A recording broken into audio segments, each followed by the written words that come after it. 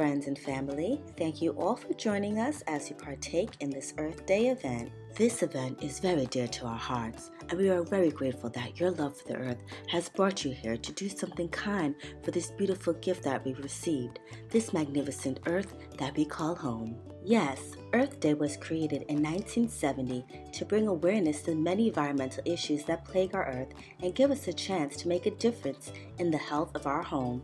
Earth Day is celebrated around the world, giving all the occupants of this planet an opportunity to improve the world we live in. So today, we are going to start by making a change in our own community by beautifying our local park. The plan here today is to plant some flowers and trees. We would also like to have some volunteers help clean up the fields of any waste they might find. After we are all done, we will have some light refreshments. Please get into your groups and let's begin Earth Daying. Mom, that's not a thing. Oh, yeah, snacks. I can't wait for that part. I'm just ready to play in the dirt. They're allowing me to get dirty. I'm gonna cherish every moment of this. Yup, this is gonna be so much fun. Digging all those holes. Where's my shovel? I'm ready to begin. It's right here, Spike. Let's go over there and start. I can't wait to see all the pretty flowers. Ugh, I don't understand why I have to be here. I'm so not interested in getting a speck of dirt on me. Gianna, you know how important this is to our mothers. Plus, it's really important work. Yeah, this is the only home we have. We need to take care of it. I get all that, but what is this little bit we're doing here really gonna help? Trust me, every little thing we do will help sustain the health of the earth. Actually, Gianna, one tree alone can absorb 48 pounds of carbon dioxide in one year. So, us planting these 20 trees will have a huge impact on reducing carbon emissions. Thanks, Tiziano, you brainiac. Like, why would you even know that in the first place? I learned that in my biology class. Plus, Gianna, there are many things we can do on an everyday basis to help improve the earth. Like what? One easy way to help the earth is to use reusable bags as opposed to plastic bags. The toxic chemicals from plastic bags can seep into our water supply and contaminate it, and they can be harmful to marine animals when they get into our oceans. Also, using reusable water bottles can help reduce plastic waste in our landfills and oceans. Another way to help the earth out is use less water. Please, Tiziano, I think that's your personal request so you can get in the shower faster. You're partly right, since you do take forever in the shower. But the impact of using less water reduces the amount of energy used to pump water. I don't know how that would work with all this hair of mine, but I guess I could try. You would be surprised by how many gallons of water are saved by turning off the faucet for a few minutes. So I know we just got our license, but driving less and using more natural forms of transportation, like walking and riding a bike, have extreme benefits on reducing carbon emissions.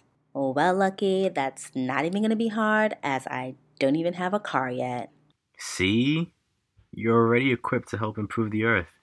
I think I'm going to tell mom and dad to hold off on getting you a car so you can continue to help the environment. Tiziano, you better not.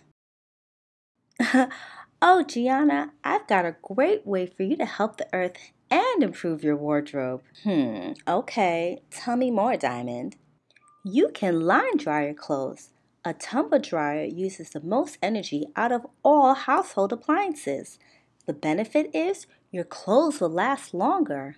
Now, that could be a lot of work, but the benefits could be worth it. Thanks for the tidbit, Diamond. Another thing you can do, Gianna, is grow a garden with your mother. You can start with herbs so you can use them in your cooking. That's a good idea. I do love to cook. And it's not too dirty of an activity. If anything, you can have Kason help with the dirt. He'll be all for it. All right, okay, so I'm convinced there is a lot I can actually do to help improve the earth. Yeah, and when in doubt, just remember the three R's reduce, reuse, and recycle. Actually, lucky it's now the five R's reduce, reuse, recycle, rot, and refuse. Oh, I didn't realize there were two more R's added. So I get reduce, reuse, and recycle, but like, how am I supposed to use rot and refuse? Well, rot is for composting, which is having organic waste biodegrading as opposed to filling our landfills. Pause. Wondering what the word biodegrade means? It's the process of having things break down and become a part of the environment. Resume. And I think the refuse element comes from not accepting plastic bags at stores. Is that right, Tez? You sure are, Diamond. You're such a smart cookie. Thanks, Tez. Just remember, Gianna, the earth is our gift from God, and we must honor his gift by taking care of our home. Yeah, that does make sense. There is only one earth, and we want to keep it beautiful, just like me. That's something you would say. Gianna, you're so silly. Sure, if that makes you take care of the earth. Exactly.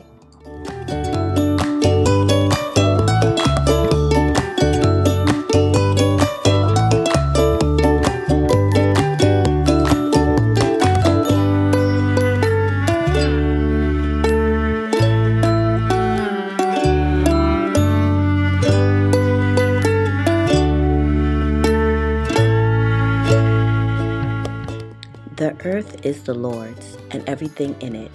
The world and all its people belong to him. For he laid the earth's foundation on the seas and built it on the ocean depths. Psalms 24, verse 1 and 2.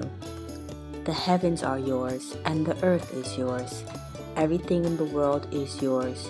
You created it all. Psalms 89, verse 11. The heavens belong to the Lord, but he has given the earth to all humanity. Psalms 115, verse 16.